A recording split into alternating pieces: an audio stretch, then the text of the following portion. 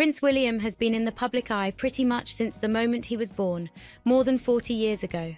All the key milestones in his life, from his first appearance in Princess Diana's arms on the steps of the hospital where he was born, to walking grief stricken behind his mother's coffin and marrying his wife, the Princess of Wales, have played out in the public spotlight.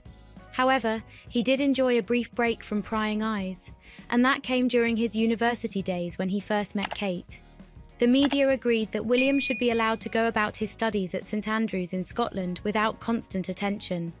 However, even then, there was still a lot of interest surrounding the young prince, who was keen to go under the radar as he continued his studies. And it was reported that he decided to go by a different name while a student and he picked an extremely normal moniker, Steve.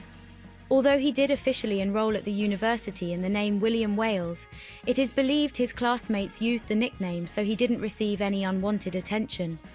There's also a good chance his now wife Kate called him this, as they were close friends at university and lived in the same student accommodation.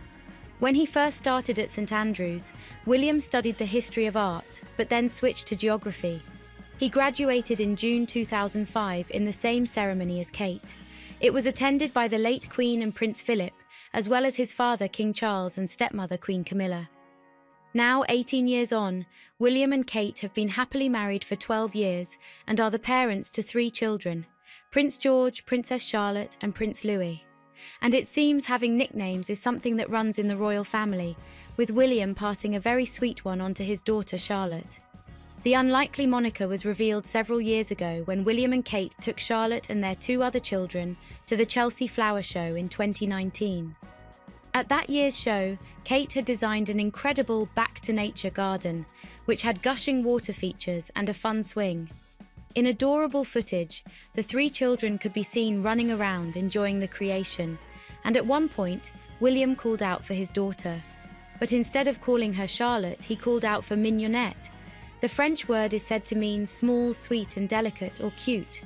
Older French definitions also show it can mean gentle and kind. It's rather different from the nickname Kate has previously been known to call her daughter, Lottie.